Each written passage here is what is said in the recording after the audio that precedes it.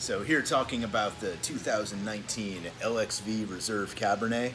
I know a lot of times this is a single vineyard expression wine, but in this case it's actually a blend of two of our favorite West Side Cabernet sites.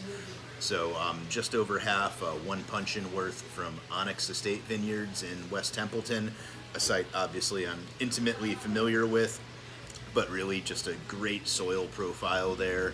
Uh, it's got that uh, alluvial soil, Templeton benchland, and uh, just enough limestone to really uh, drain it out.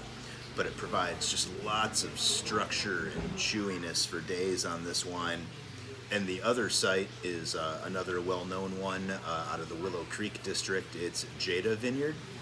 So uh, the Jada site just brings all sorts of incredible acidity and uh, verve and alacrity and liveliness to this wine so it's really a juxtaposition of two very different styles of Cabernet that play so well with each other.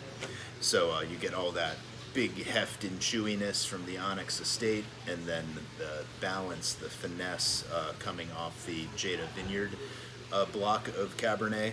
And uh, at the end, it just, to me, plays like it has the uh, sort of uh, structure of uh, New World while still having that balance and deftness and classic cassis and red fruit character of a uh, right bank uh, from the Bordeaux. So something I think you guys are going to enjoy and definitely these types of blends are something to think about and look forward to as we start working with more and more awesome uh, West Side Paso sites in the future.